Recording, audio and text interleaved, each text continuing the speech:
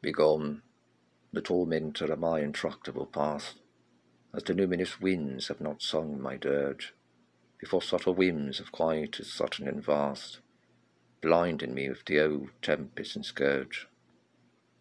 The piteous days of my lament follows I see, beyond my plutonian chamber now haunted, by the pallid spectres of nightmares I can't flee, and the contempt of a craven in me daunted. Plaintive voices silence quickly my fading sanity, as I endure the desuetude of a horrid dissolution first, and the doors to Elysium close upon a drear reality, the transient respite of my laden guilt accurst. Herefore I shall linger in a pool of deep sorrow, drowning in the quaff of my visible anguish, till the seraphim sing my paean in the morrow, and my soul from behind my shuttle I relinquish.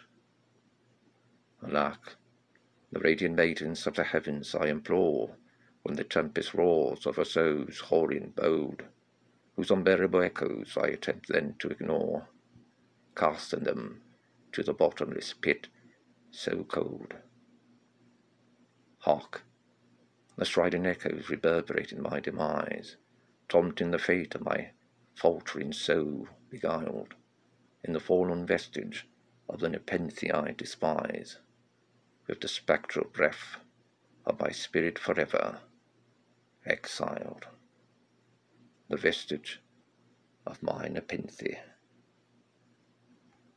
End of poem.